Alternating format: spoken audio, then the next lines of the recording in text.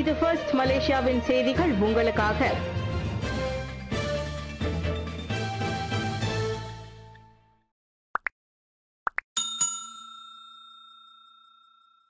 இணைய குற்ற செயல்களை தடுப்பதில் ஆசியான் ஒத்துழைப்பை மேற்கொள்ள வேண்டும். இணையம் வழியான குற்ற செயல்களை தடுப்பதில் ஆசியான் நாடுகள் வட்டார அளவிலான ஒத்துழைப்பை மேற்கொள்ள வேண்டும்.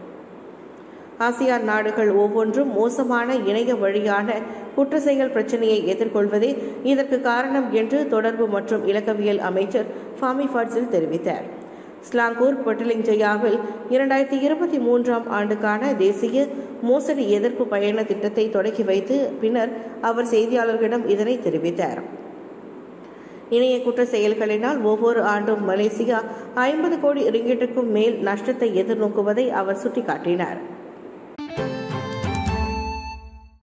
இந்திய மாணவர்களின் உயர்கல்விக்கு ஒருமைப்பாட்டு அரசாங்கம் கூடுதல் நிதி அளிக்க வேண்டும். மைகா வேண்டுகோள். கல்வி மட்டுமே இந்திய மாணவர்களை முன்னேற்றும் கருவி எனவே அதனை மாணவர்கள் நிறைவாக பெற பிரதமர் டத்தோஸ்ரீ அன்வார் இப்ராஹிமும் ஒருமைப்பாட்டு அரசாங்கமும் கடந்த கால அரசாங்கங்களைப் போன்று முழு ஆதரவு நல்கும் என்று தாம் எதிர்பார்ப்பதாக மாய்கா தலைவர் தான் சி எஸ் ஏ விக்னேஸ்வரன் நம்பிக்கை தெரிவித்தார். மைகா முன்னாள் தலைவர் மறைந்த துன் சாமிவேலு தோற்றுவித்த மாஜோ கல்வி மேம்பாட்டு கழகமான மியாடுக்கு இதுவரை அந்தந்த கால அரசாங்கம் வற்றாத ஆதரவு வழங்கி வந்ததை மாய்கா ஒருபோதும் மறவாது.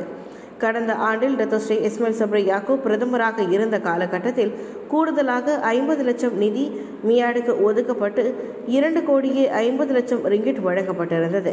இந்த நிதியை கொண்டு ஆண்டுதோறும் கூடுதலான உயர்கல்வி மாணவர்களுக்கு உபகார சம்பளமும் கல்வி கடனுதவியும் மியாட் வழங்கி வருகிறது. இவ்வாண்டும் பிரதமர் கூறியிருப்பது போல எதிர்பார்த்த நிதி கிடைத்தால் அது பல இந்திய மாணவர்களின் கல்விக்கான விடியலுக்கு வித்திடும் என்று தான் ஸ்ரீ விக்னேஸ்வரன் குறிப்பிட்டார். நிலையான அரசாங்கம் நீடிக்க பொருளாதார அளவில் மட்டும் கவனம் செலுத்தாது.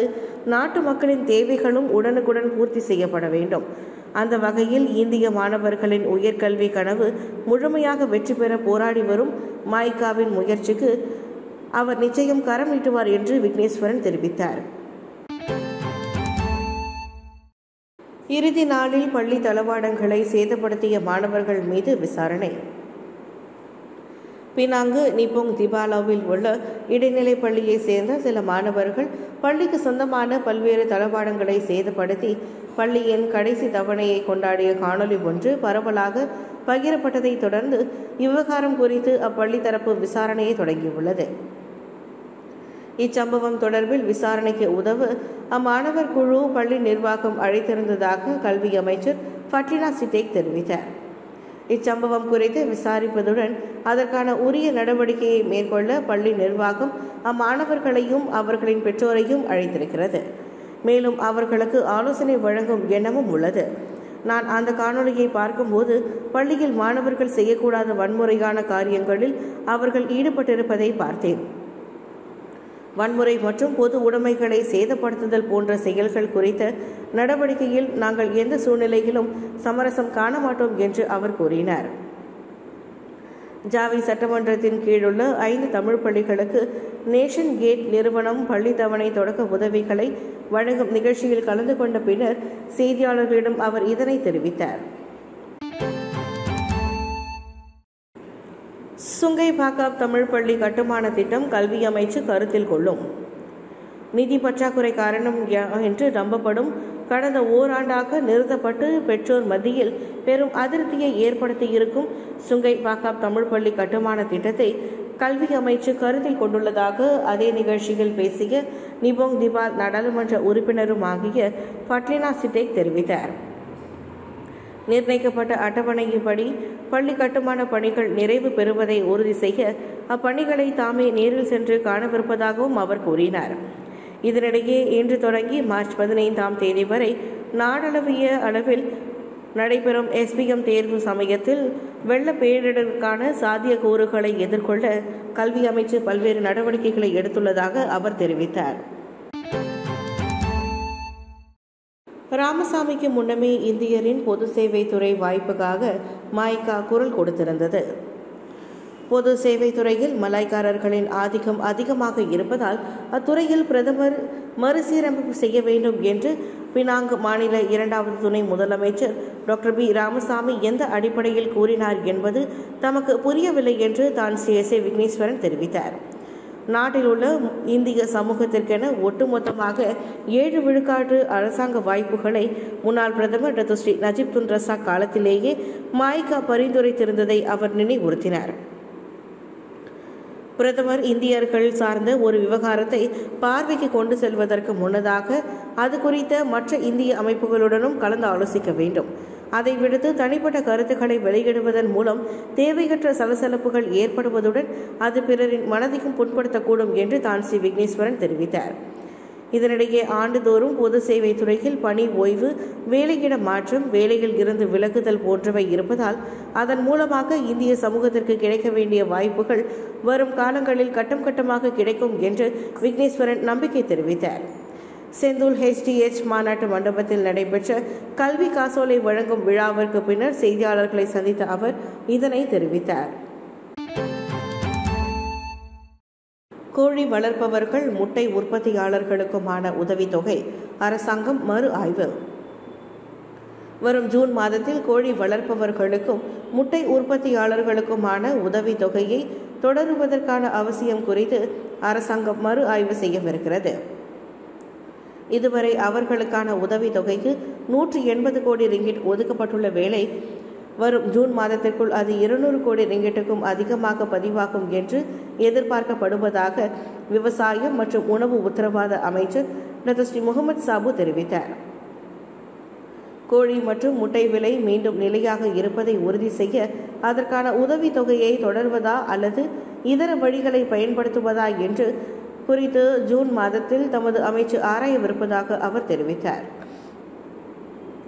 அதே வேளையில் இந்தியாவில் இருந்து இறக்குமதி செய்யப்படும் முட்டைகள் நிர்ணயிக்கப்பட்ட தரத்தில் இருப்பதை உறுதி செய்ய அதை விரிவாக சோதனை செய்யுமாறு கால்நடை மருத்துவ சேவைத்துறை ஜேபிவியை தங்கள் தரப்பு கேட்டுக்கொண்டுள்ளதாகவும் அவர் தெரிவித்தார். துபாய் ஆசிய குழு நிலையிலான பூப்பந்து போட்டி தொடர்ந்து மூன்றாவது முறையாக மலேசியா தோல்வி. காலிறுதி சுற்றில் நடைபெற்ற மலேசியா சீனாவின் பேக்கப் குழுவிடம் மூன்றுக்கு இரண்டு என்ற புள்ளிகளில் தோல்வி கண்டது. ஆண்களுக்கான ஒற்றையர் பிரிவில் லீசி ஜியா இருபத்தி ஒன்றுக்கு பதினாறு இருபத்தி இரண்டுக்கு இருபது என்ற நேரடி செட்களில் சீனாவை சேர்ந்த லெய்லான் லீயை எளிதில் தோற்கடித்து ஆட்டத்தை தொடங்கி வைத்தார். எனினும் பெண்களுக்கான ஒற்றையர் பிரிவில் கோஜின் வெய்க்கும் சீனாவை சேர்ந்த கோஃபெங் ஜிங்கும் இடையில் நடந்த எழுபது நிமிட ஆட்டத்தில் ஜிங்வை தோல்வி கண்டதன் வழி சீனா ஆட்டத்தை சமப்படுத்தியது. அதைத் தொடர்ந்து ஆண்களுக்கான இரட்டையர் பிரிவில் வாங் யூ சின் தியோ இ ஜோடி சீனாவை சேர்ந்த ஹீஜி டிங் ஜாங் ஹாங் டாங் இணையிடம் வீழ்ந்ததால் சீனா தனது இரண்டாவது புள்ளியை பெற்றது. இருப்பினும் தொடர்ந்து போராடிய மலேசிய அணி பெர்லிதான் எம் தீனா ஜோடியின் மூலம்தான் நிங் லிங் ஷென்ஷு இணையை தோற்கடித்து மீண்டும் ஆட்டத்தை சமநிலைப்படுத்தியது. அதனைத் தொடர்ந்து நடைபெற்ற கலப்பு இரட்டையர் பிரிவில் தாங்யாங் மெங் லாங் பை ஜிங் ஜோடி சீனாவை சேர்ந்த Feng Yang C Huang Dongping ஜோடியிடம் நேரடி செட்களில் விழுந்தது. இதனிடையே இந்த தோல்வியினால் மனம் தளர்ந்து விடாமல் அடுத்து மே மாதத்தில் சீனாவில் சுஷோவில் நடைபெறவிருக்கும் சுடீர்மான் கிண்ண போட்டியில் கவனம் செலுத்துமாறு தேசிய முன்னாள் பூப்பந்து வீரர் டத்தோ லீ சாங் தெரிவித்தார். மூலப்பொருட்களின் நுழைவிற்கு எதிரான தடை வெளிப்படையான அணுகுமுறை தேவை. குறிப்பிட்ட சில மூலப்பொருட்களின் நுழைவிற்கு எதிரான தடையை மேலும் கையாள்வதில் ஐரோப்பிய ஒன்றியம் மேலும் வெளிப்படையான அணுகுமுறையை மேற்கொள்ள வேண்டும். பொருட்கள் உற்பத்தியில் நிலைத்தன்மை அம்சம் கருத்தில் கொள்ளப்படுவதை உறுதி செய்வதில் ஐரோப்பிய ஒன்றியமும் மலேசியாவும் ஒரே நிலைப்பாட்டை கொண்டிருப்பதே இதற்கு காரணம் என்று டாக்டர் ஸ்ரீ ஃபடிலா யூசுப் தெரிவித்தார். தனது சொந்த பொருட்களின் உற்பத்தியை பாதுகாக்க ஐரோப்பிய ஒன்றியம் மேற்கொள்ளும் ஒரு பாரபட்ச நடவடிக்கையே இந்த தடையாகும் என்று தோட்டத்துறை மற்றும் மூலப்பொருள் அமைச்சருமான அவர் குறிப்பிட்டார். ஐரோப்பிய ஒன்றியத்தின் வன அழிப்பு இல்லாத பொருட்களுக்கான விதிமுறை செம்பனை எண்ணெய் தொழில்துறைக்கு சிக்கலை அளிப்பதோடு சவாலாகவும் அமைவதால் அந்த விதிமுறையை மறு ஆய்வு செய்யுமாறு பிரதமர் டாக்டர் ஸ்ரீ அன்வார் இப்ராஹிம் வலியுறுத்தியிருந்தார்.